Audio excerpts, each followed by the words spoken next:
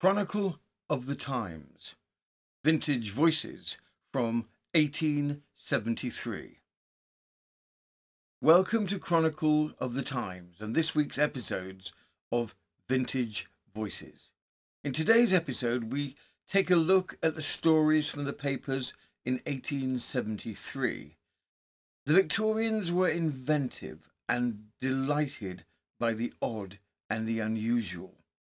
We have a story about a man trying to independently fly, a sea monster from the deep found near the Japans, and a story of a wolf boy, the inspiration for Mowgli in the Jungle Book, we wonder?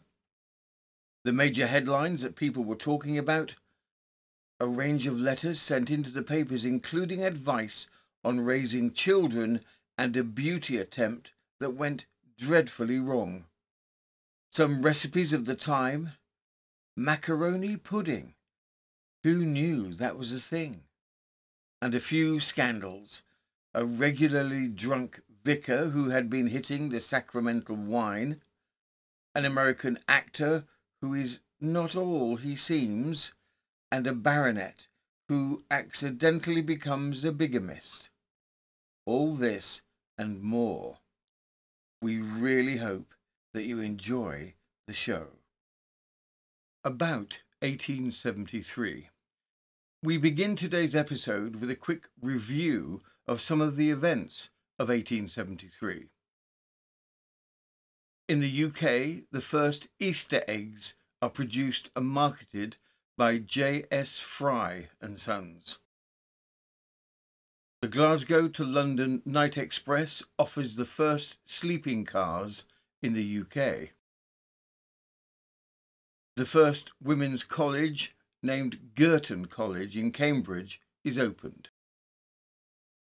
The birth of jeans arrives with patent number 139121 using copper rivets to strengthen denim work trouser pockets.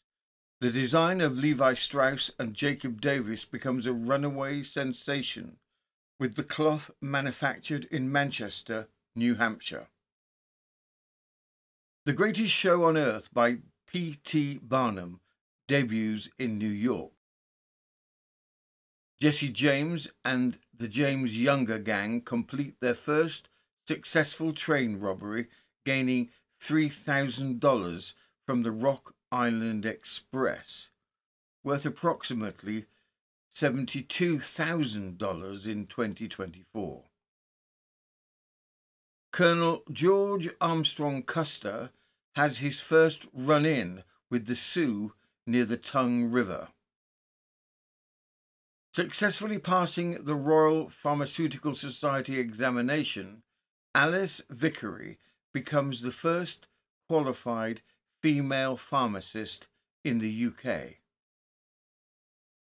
Heads of State Reigning Monarch Queen Victoria Prime Minister William Ewart Gladstone President Ulysses S. Grant and Governor of New South Wales Hercules Robinson, 1st Baron Rosmead. What people are talking about. Mary Ann Cotton. Easily the topic of conversation for the year was what would become of one of Britain's most notorious serial killers, Mary Ann Cotton. No one knows for certain just how many she killed. Three husbands died, her mother, a sister-in-law, a lodger, and at least eight children are suspected to have been murdered by her, but most believe her death count was considerably higher than these official numbers. Some newspaper reports stated that she had gone beyond the Count of Burke and Hare, but as Mary Ann had moved around so much, it was difficult to get an exact account. Tracing her kills was further exacerbated by missing corpses, thereby not allowing for an exhumation and testing. The Tichborne claimant case. This case at the time was one of the longest ongoing trials, lasting and then inconceivable 188 days. The claimant, as he was known in the papers, was Arthur Orton, son of a butcher from Wapping in East London, with a very long history of various scams in London and Australia. His mo- most audacious attempt is selling himself as the Tichborne claimant. This story encompassed impersonation, identity theft, celebrity status, and the attempt to claim millions. The stakes were very high. Society was all a twitter. Was he or wasn't he the rightful heir to the Tichborne fortune? Garrotters. In Victorian eyes, there seemed to be a surge of cases where people were garrotted on the street for the purpose of robbery. It was said that this fear was one reason for the change in the police uniform with the sturdy high neck.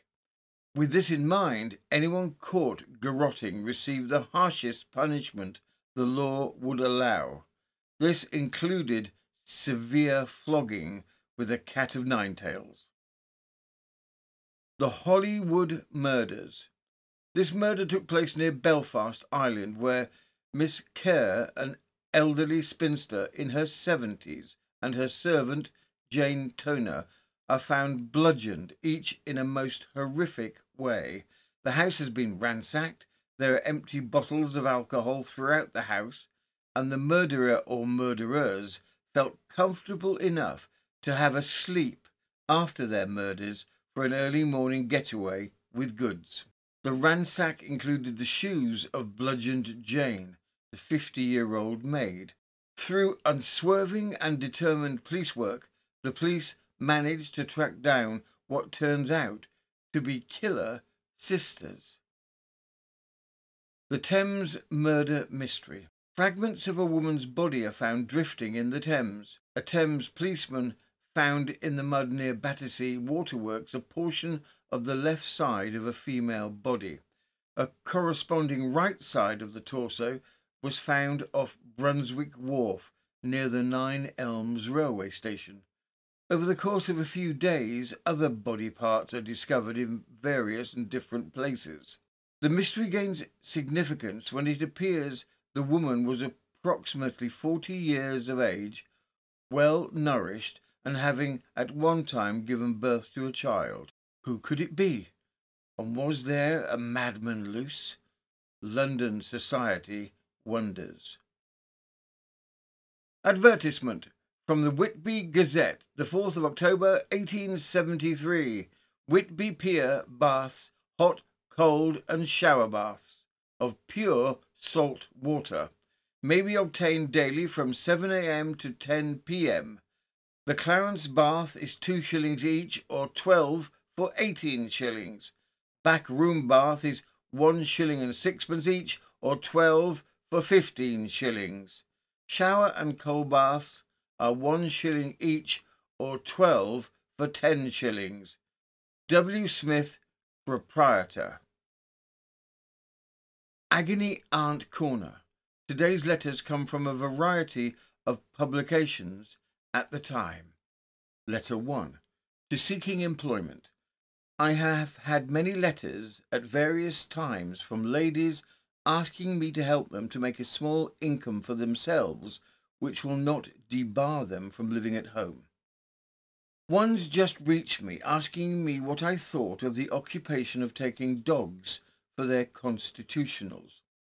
If any self-sacrificing lady would like to employ herself Thus, I dare say she might find occupation, but it would be, I am sure, of a trying kind.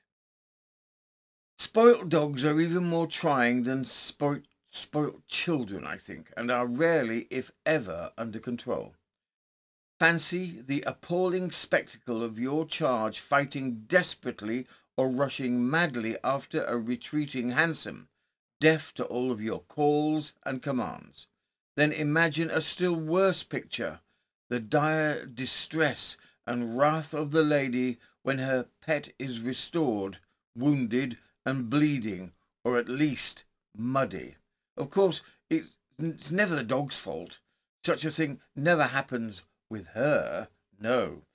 For the very good reason that she has bought her experience long, long ago and never takes him out. Again, I say if anyone feels equal to undertaking all of this, she may find it a remunerative employment. Letter 2 to Nil Desperandum. The outflapping ears, so disfiguring, which we often see can be so easily prevented in childhood that it is a wonder that mothers do not give more thought to the matter. Children should be carefully watched and never allowed to sleep without having their ears closely pressed to the head. Babies should always wear caps. Then it will be impossible for their ears to assume such alarming and unbecoming shapes as frequently shock us. Letter 3 from Anna. I am in a terrible difficulty. Pray help me out with it with your accustomed affability. I confess I am subject to the usual weaknesses of ladies. You know that love of admiration is the chief failing. Fancying that my eyebrows were not quite as beautiful as they might be, I was attracted by the advertisements of one of the hair dyeing people and resorted to him to improve my appearance. I was ushered into a little gloomy looking room which must have been originally a cupboard. The floor was spotted all over with black marks.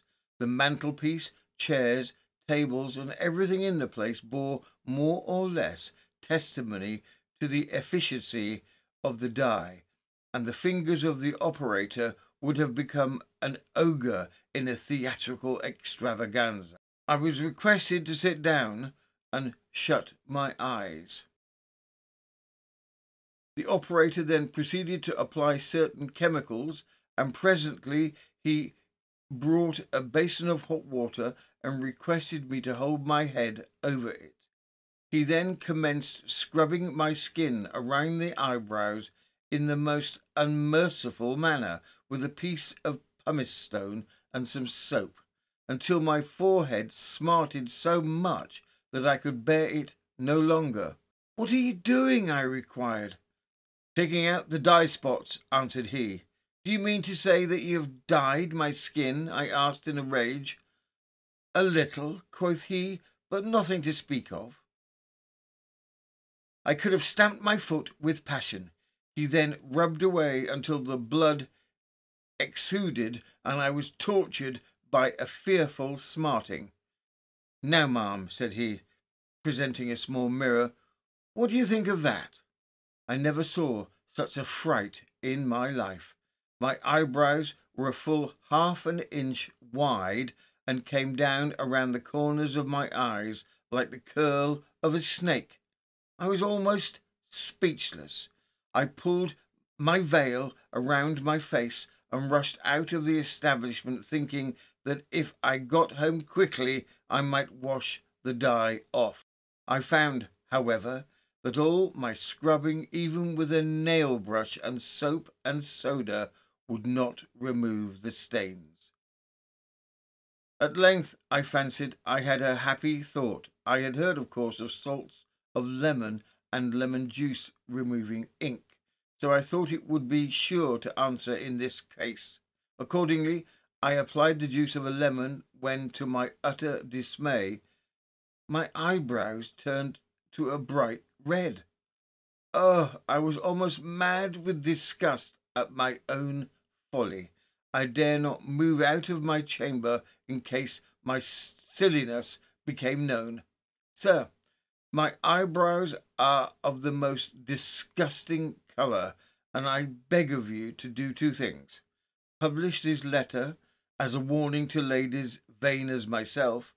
Give me a good and safe dye with simple instructions for applying it without fear of dyeing the skin, and you will thus make your treasury a true treasure to me. Your troubled admirer, Anna. Answer to Anna. The following receipt copied from the shopkeeper's guide we can guarantee. Solution number one.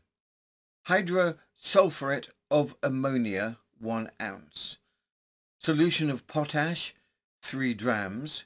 And a distillation of rainwater, two ounces. Letter four. To Amanda. The young man who spends his leisure time at a tavern does not promise to becoming a good husband.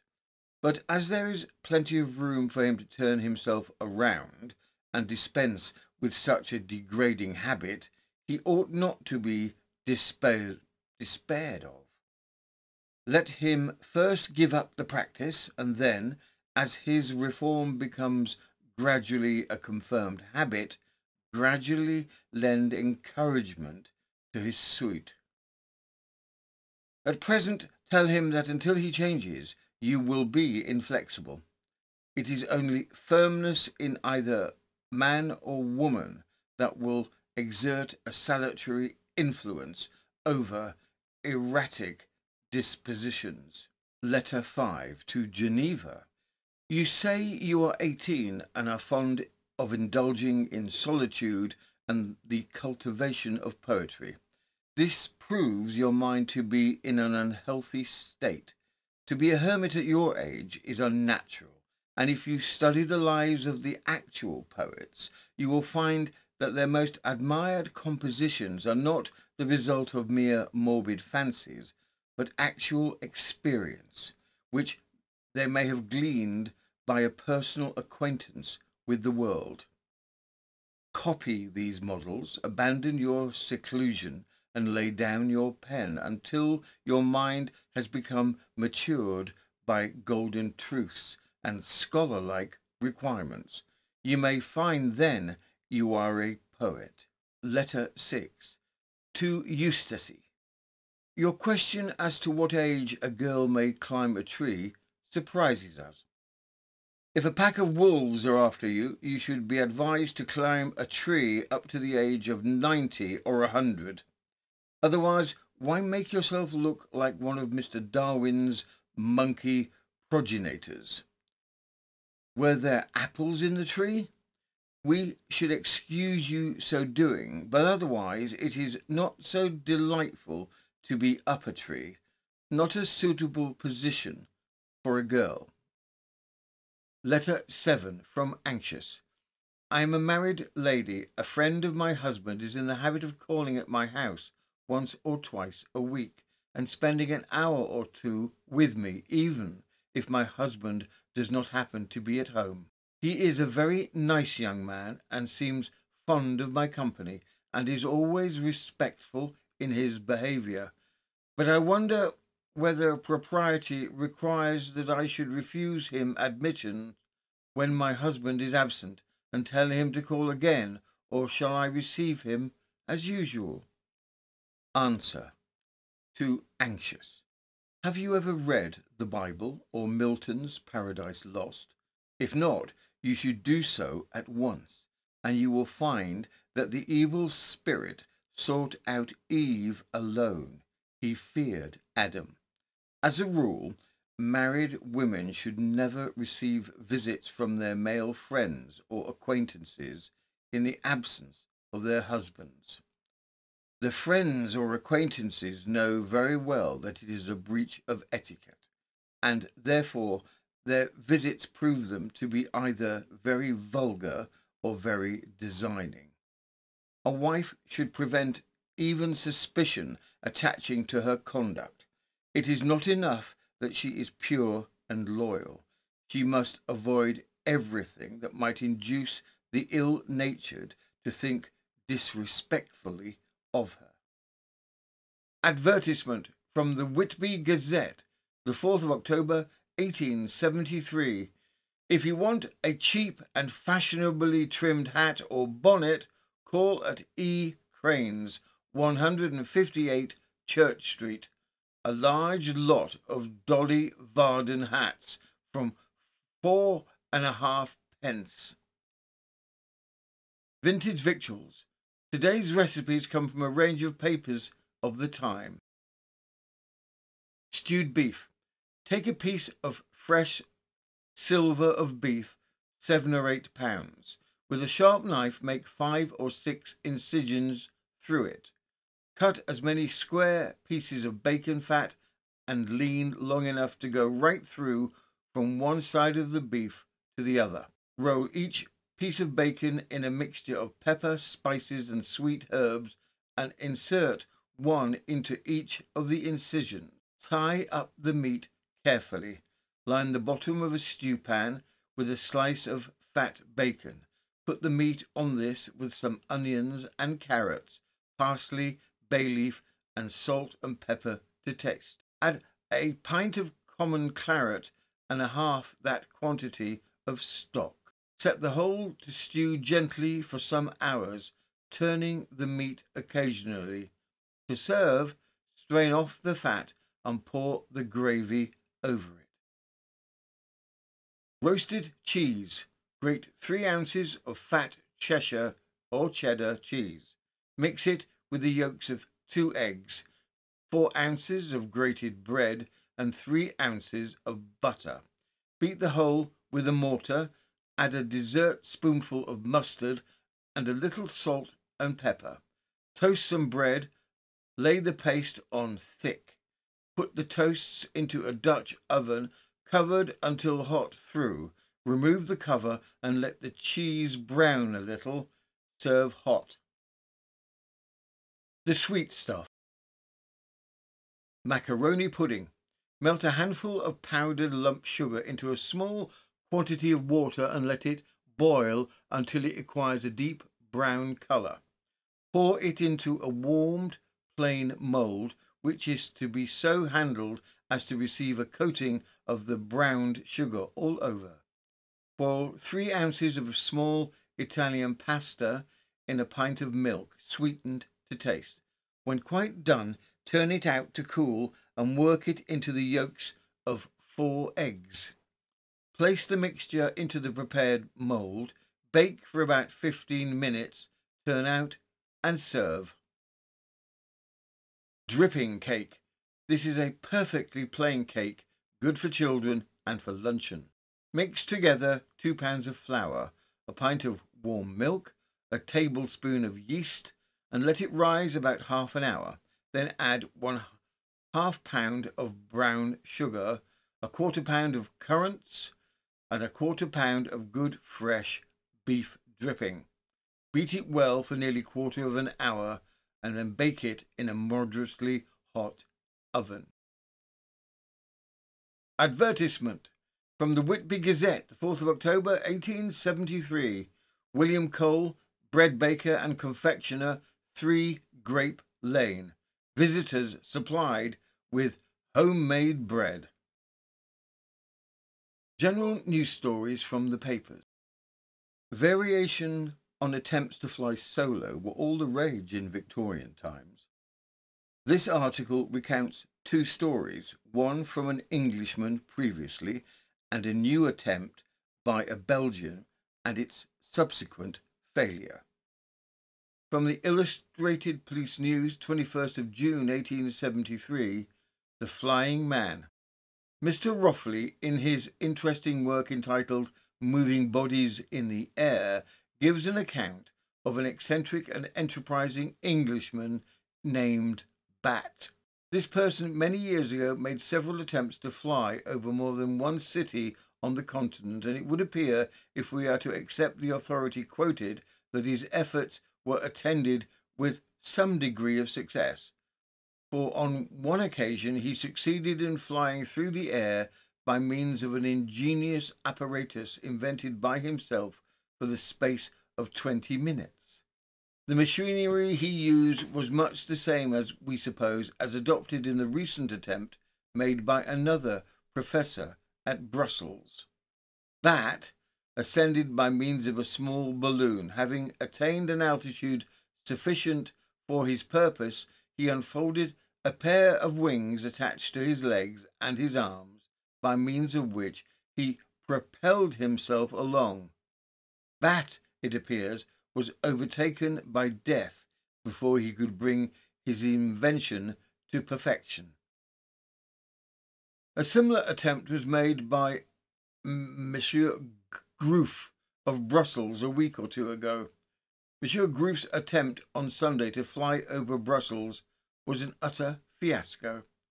When only two or three feet from the ground, he ignominiously came down, falling on his face. The mob that had gathered grew furious at the disappointment and tore to pieces the balloon that was to have played a subordinate part of the performance. Stones were thrown about recklessly, and a scene of serious disorder was witnessed. A number of ladies were hurt, and the disturbance has resulted in numerous arrests. There are lots of tales regarding sea creatures surrounding the islands of the Japans. This is only one of them.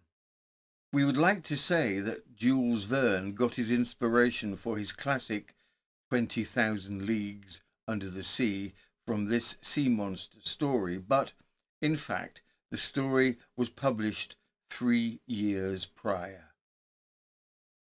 From the Illustrated Police News, the 21st of June 1873, Encounter with a Sea Devil.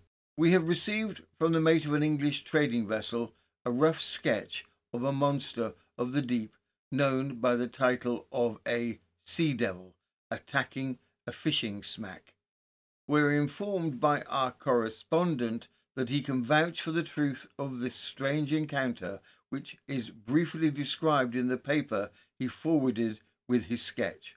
The apparently exaggerated description of the sea devil loses much of its impossibility in one's mind after an inspection of a huge cephalopod now being shown in a house near the temple at Asaka in Yodo.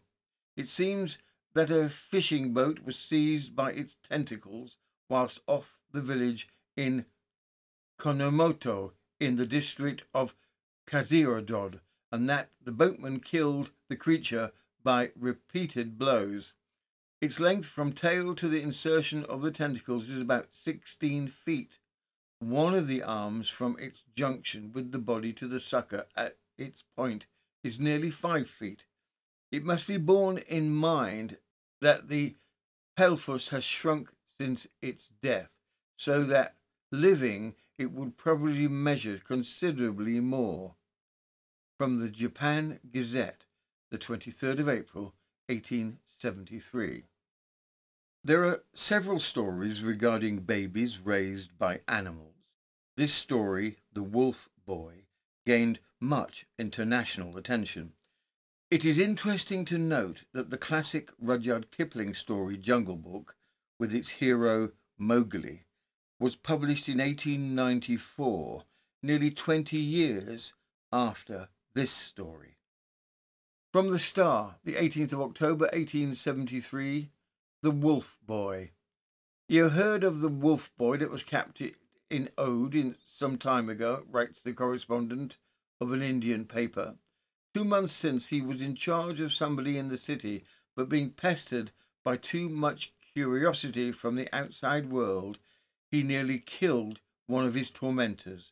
He was, therefore, taken charge of by the authorities and lodged in the lockup near Crutchery. By the courtesy of the magistrate and collector, I was permitted to interview this youngster a few days ago.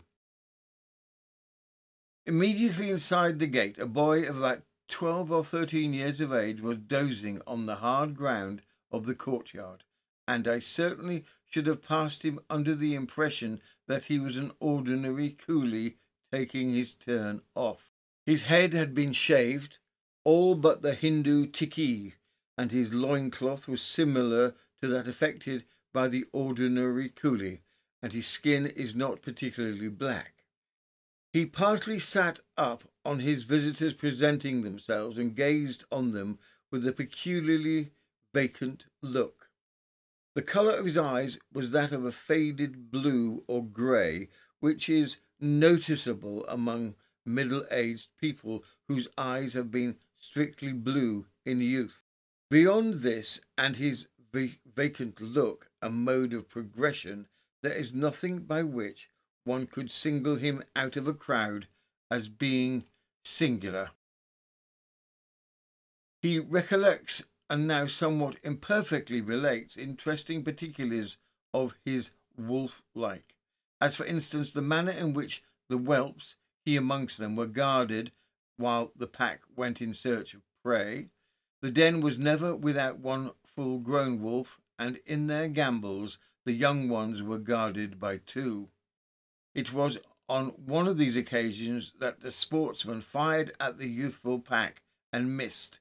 When they all scampered off to their den, the boy in their midst, a veritable feral natural.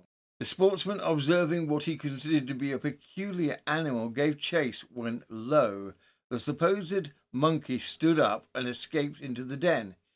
He was then dug out and captured about two years ago. His habits are quite in keeping with his training. He prefers to sleep all day and to be awake or restless at night. And when the jackals give their nightly howl, he answers with characteristic vigour. His appetite is enormous, raw meat being preferred to all other food. He used to be in the habit of chopping at flies like a dog and swallowing them with unbecoming relish. His latest feat, and performed only two days before I saw him, was in this wise. A live fowl was thrown to him. He seized it with his teeth, which, by the by, are a splendid set, bit the bird's head from its body, and the quivering fowl was partly devoured before it was scarcely dead. He was made to get up and walk across the courtyard, but he was exceedingly groggy on his pins, but returned nimbly on hands and knees. He has a, an, a scar immediately under his chin where it was supposed the kidnapping wolf had seized him when he was about twelve months old, and the fact of his being suckled and brought up with a den of wolves presents curious phenomena which the mind dwells upon with considerable wonder. It was hoped that someone might claim him, but as yet no clue has been found. Advertisement from the Sheffield Daily Telegraph, 16th of August 1873. Wanted, respectable man as day, timekeeper, and porter to make himself useful. Address, owned handwriting, Box 234, Post Office. Tattle Tales Gossip Corner. Anything to do with the fallibility of the aristocracy was seized upon with enthusiasm. This story of an accidental bigamist in Ireland is one example. From the Liverpool Weekly Courier, the 14th of June 1873, The Irish Scandal. A sad story which reaches us from the sister isles is much talked of here. The most lenient version that I have heard of is as follows. It seems that a certain baronet of very considerable wealth became, when quite a young man, somehow or other, entangled in a marriage with a person in every way his inferior in position and social qualities. The couple soon separated by mutual consent. The lady, well provided for, betaking herself to a far distant country. Thence, in a few years, news of her death arrived, and, the tidings having been investigated and verified, the widower, after a year or two, married again, and this time in harmony with his own position, the bride being the daughter of a noble earl of the same kingdom.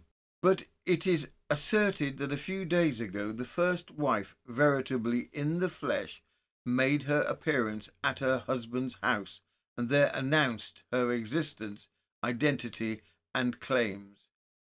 A report adds that the new wife has sought her father's house and that the baronet has betaken himself to the continent. We love this story from Indiana in the United States. It is easy to picture an actor immersed in his own self importance being found out. What we don't quite understand is what he was wearing. Trousers by then were generally worn by gentlemen in most Western civilizations. From the Liverpool Weekly Courier, the 14th of June 1873, an American stage Apollo. A melancholy fracas has occurred at Indianapolis owing to an actor being bitten by a dog. It seems that there is an actor there of such exquisite proportions that he is known as the Apollo Belvedere. He was walking in the streets the other day and excited universal admiration by the magnificent proportions of his limbs when he accidentally stepped on the tail of a terrier dog who happened to come across his path. The enraged animal immediately turned and bit the actor severely in the calf of the leg. The wounded man, however, stalked on, apparently unconscious of the injury he had received, until a bystander called his attention to the circumstance. He immediately stopped, and the utmost sympathy was felt for him and expressed by the spectators until, to their amazement and horror, they saw flowing from the wound not a drop of blood, but a thin stream of sawdust. The incident naturally caused a painful sensation in the city and was mentioned with kindly regret by one of the local papers. This annoyed the actor excessively, and announcing his intention to chastise the editor, he proceeded to the office of that gentleman to carry out his intention, but the muscles of his arms proved as little formidable as the calves of his legs, and after a short, sharp struggle, he was ignominiously kicked by the editor out of the room. Altogether, he has sadly fallen into the estimation of the public, and it is understood he contemplates retirement from the stage. Another naughty vicar, but this time it is alcohol related. A drunken vicar giving a funeral service. One can imagine the approbation. Death was taken very seriously by the Victorians. From the Penny Illustrated Paper, the 19th of July, 1873, Suspension of a Vicar. The investigation into the Hindley clerical scandal was concluded on Saturday evening. The Reverend C. H. Newbold was found guilty of drunkenness at a funeral service on New Year's Day in 1873 and at evening prayer on Sunday, November the 3rd last, and of insobriety in the parish in January and March of 1872. He was also found guilty of conduct and demeanour unbecoming a clergyman. The bishop suspended the respondent from his office of vicar of All Saints, Hindley, and from the discharge of all clerical functions within the diocese for three years, and condemned him in the costs of the prosecution his lordship, while finding the charge of immorality and indecent conduct in the legal and technical sense of the words had not been established against the respondent, characterizing his behaviour as having been beyond all question most improper, indelicate, and highly reprehensible. That concludes this episode of Vintage Voices from 1873. We really hope you enjoyed the show? We would be so grateful if you could like and subscribe to our channel. We upload three days a week. Tuesdays is our Vintage Voices series, including an Agony Aunt section, a recipe section, and the gossip of the day. Thursdays is an episode looking at the lighter sides of Georgian, Victorian, and Edwardian times and Sundays with a recounting of stories by authors such as Dickens, Munro, Conan Doyle, M.R. James, and Wilkie Collins. If you like this channel, you may like our sister channel, News of the Times, which looks at crime stories from the past. From all of us here at Chronicle of the Times, thank you for watching liking, and subscribing. This has been Chronicle of the Times, and I am Robin Coles.